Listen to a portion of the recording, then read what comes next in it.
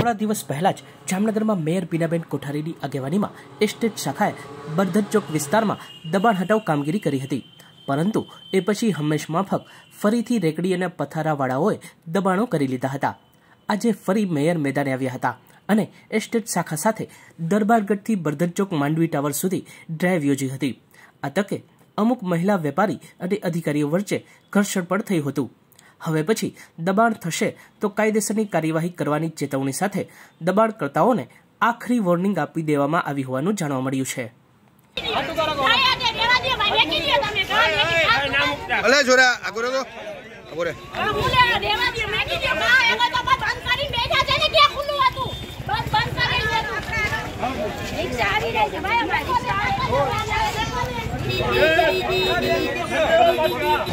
આજરોજ ફરીથી જામનગરનો હાથ કહી શકાય એવું દરબારગઢ વિસ્તાર.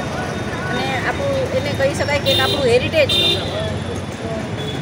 બિલ્ડિંગ છે, એક મકાન છે, જે આખી રાજાશાહી વખતનું છે.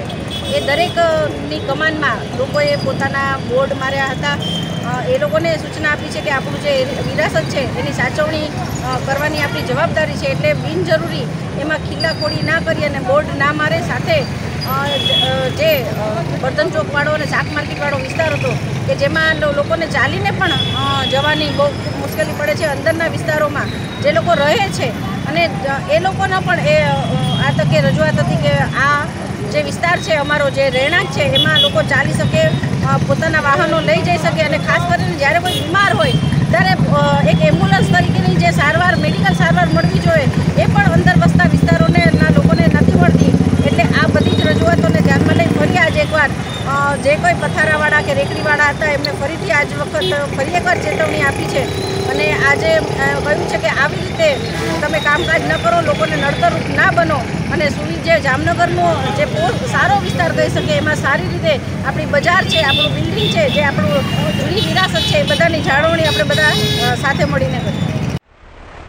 જામનગરમાં જતીન મંગાભાઈ વારસો નામનો યુવાન કુરિયર કંપનીમાં કામ કરતો હતો.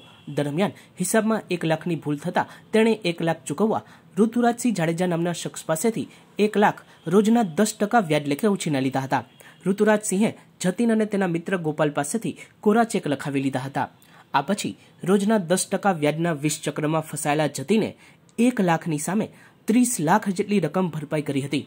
તેમ છતાં ઋતુરાજસિંહે વધુ આઠ લાખ માંગતા જતીને એ રકમ ચૂકવવા પત્નીના દાગીના ગીરવે મૂકી આદિત્યસિંહ જાડેજા પાસેથી છ લાખ ત્રીસ હજાર ઉછીના લીધા હતા.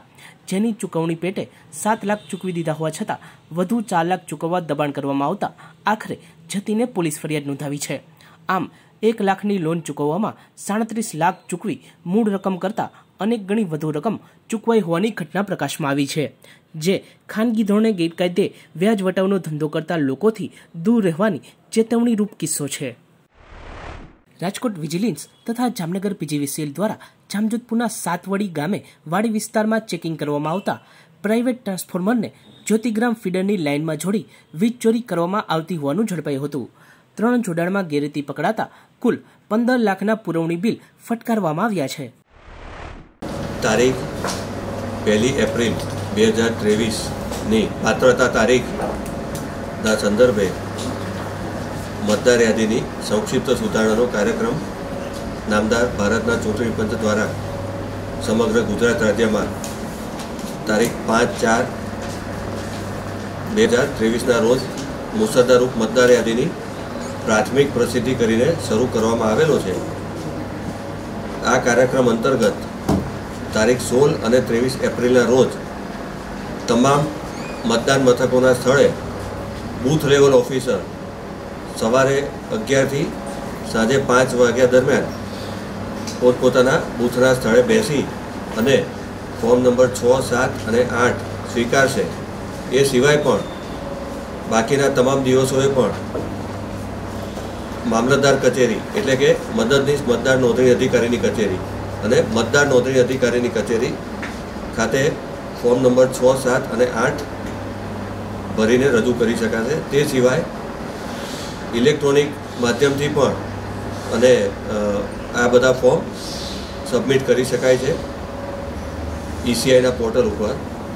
આજની આ પ્રેસ કોન્ફરન્સ ખાસ મીડિયાના, પ્રિન્ટ મીડિયા અને ઇલેક્ટ્રોનિક મીડિયાના તમામ મિત્રો વતી અને તેમના માધ્યમથી સમગ્ર જામનગરની જનતાને એક અપીલ અને વિનંતી કરવા માટે બોલાવવામાં આવી છે અને મીડિયાના માધ્યમથી હું તમામ નાગરિકોને અપીલ કરું છું કે જેઓ એક ચાર બે હજાર ત્રેવીસની સ્થિતિએ અઢાર વર્ષ પૂર્ણ કરેલા હોય અથવા એનાથી વધારે ઉંમર હોય અને મતદાર યાદીમાં જેનું નામ આજ દિન સુધી ક્યાંય દાખલ ના થયું હોય, તો તે તમામ સોએ સો ટકા ફોર્મ નંબર છ ભરીને રજૂ કરવામાં આવે, જેથી કરીને મતદાર યાદી અપડેટ થાય અને મતદાર યાદી જ મતદાન અને પવિત્ર લોકશાહીનો પાયો છે.